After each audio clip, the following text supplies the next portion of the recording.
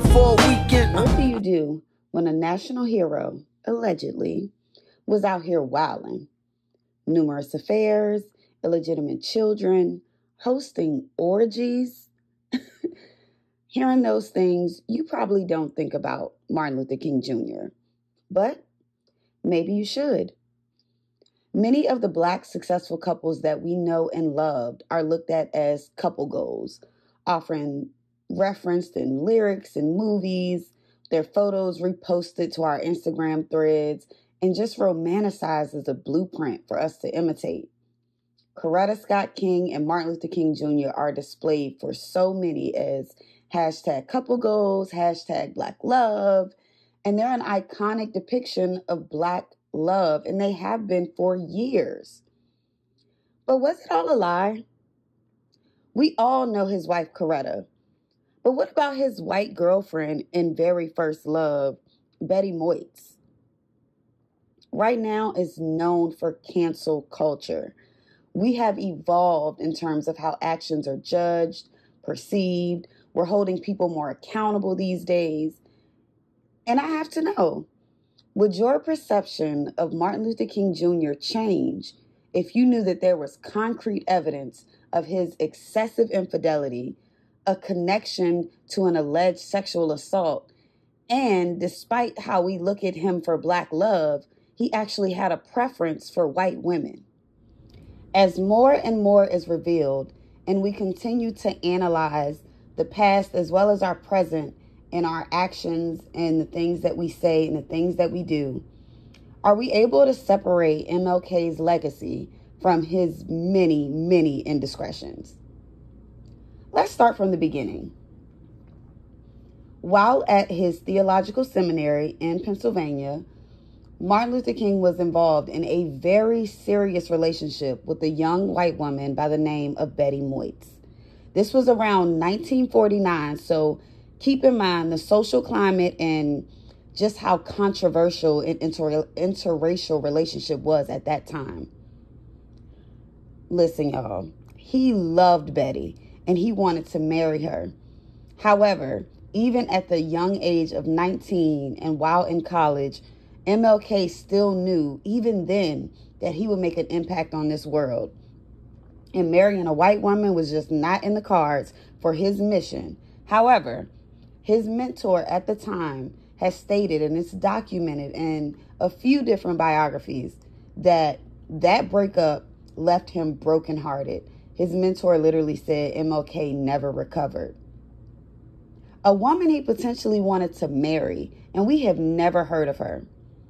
Was it a cover up because she was white? Okay, so let's move forward and look at the next phase of his life.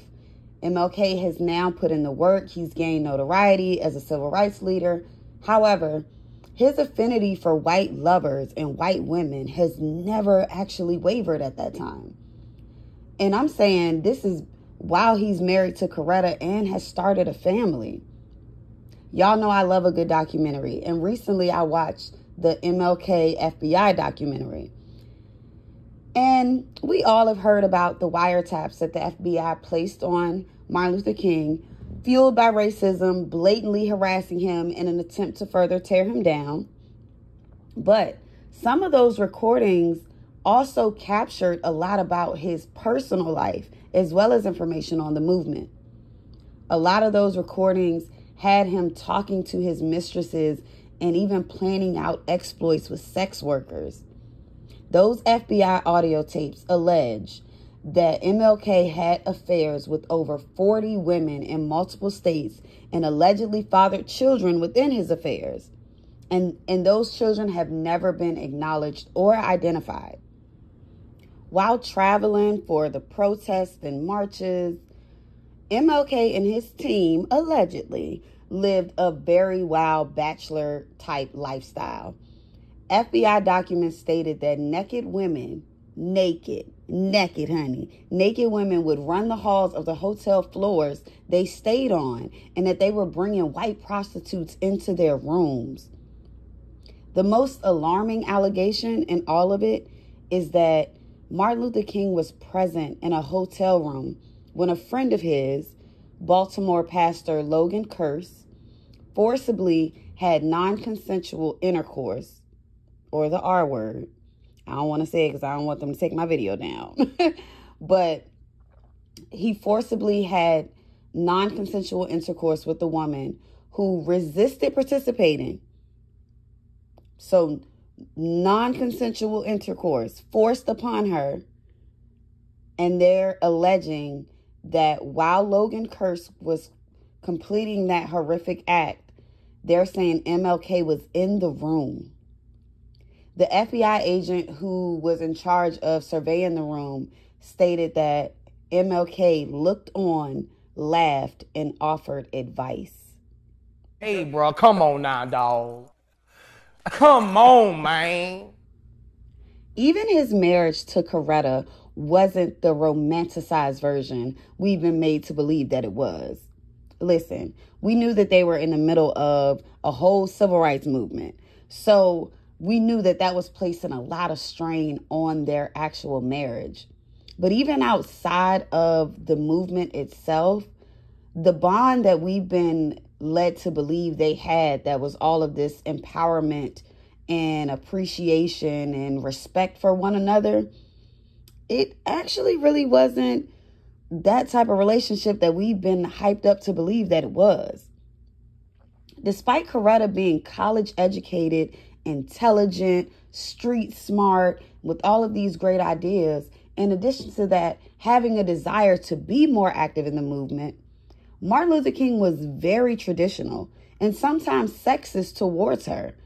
As her husband, he felt that her role as a wife was to stay home and raise children, ultimately forcing Coretta to silence her dreams and ambitions to fulfill what he wanted for their family. He made that decision, and there was really nothing that she could do about it. And we knew that this is something she was passionate about and ultimately wanted to do because after he was assassinated, she went on to accomplish all of those great things. But it's been revealed now that that's actually what she wanted to do the entire time. Martin Luther King was often on the road for a hundred days at a time. Coretta was single handedly raising their four children, but she also had to deal with his oppression when it came to the financial side of things. He had an intense discomfort about materialistic things. He didn't want anything to be flashy or anything that he deemed to be flashy, even if it provided comfort to his family. Most of his money and his finances went to support the movement, while Coretta and the children had to rely solely on his very slim earnings as a pastor. When they did finally buy their house for a mere $10,000 in 1965, Coretta did an interview stating that MLK didn't want her to buy the curtains that were hanging up. I'm like, all this this woman had to deal with, and sis couldn't buy curtains? Curtains.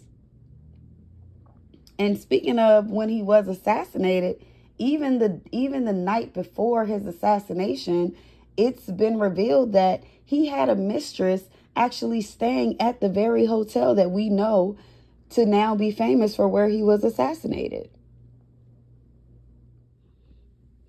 So, in hearing all of this, it's a little difficult to not then also just start to consider his character and who he actually was just as a person based on how he did treat his wife. There is also an article and an excerpt, and you can actually read the full biography if you like, that addresses a time where he actually did reveal to Coretta that he did have a long term affair. In addition to all of the other affairs and flings that he had as he traveled, in addition to his, he had his wife, but then he also had what a lot of people deemed the other wife because he was in a long term relationship with that woman from 1963 up until his death. And she's who is rumored to have been at the hotel the night before his assassination. But the part that's even more damning is he told Coretta that information while she was recovering from a surgery. As of now, the full audio and the evidence from the wiretaps are sealed until 2027, that was mandated by a federal judge. But there are countless biographies and so much literature out here that all reveal these same behaviors when it comes to the man that actually was Martin Luther King and just not the figure that the history books have created for us to idolize. Knowing what we know so far, because keep in mind, we don't know everything that's going to come out on those wiretaps, but just knowing what we know so far, how does this affect your view of MLK and how you celebrate him? Or does it affect you at all? How do we process that one of the most famous black marriages and the most symbolic, iconic archetypes of what's supposed to be the best type of black love had a husband who preferred women of another race, and specifically white women? A whole civil rights leader who fought against white supremacy, who was willingly and actively risked it all his family, his children, his safety to sleep with white women. Is this yet another moment to prove that we need to release stand culture and putting these celebrities and public figures on pedestals? Stop idolizing these historical and celebrity figures? Or does none of this even matter because of all that he's accomplished?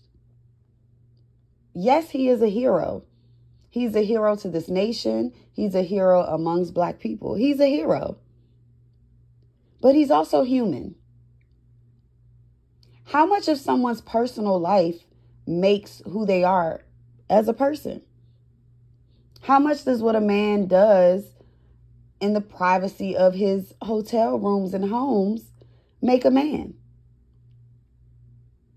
What do we do when our heroes have allegedly been out here wilding? I want y'all to decide. Happy MLK Day.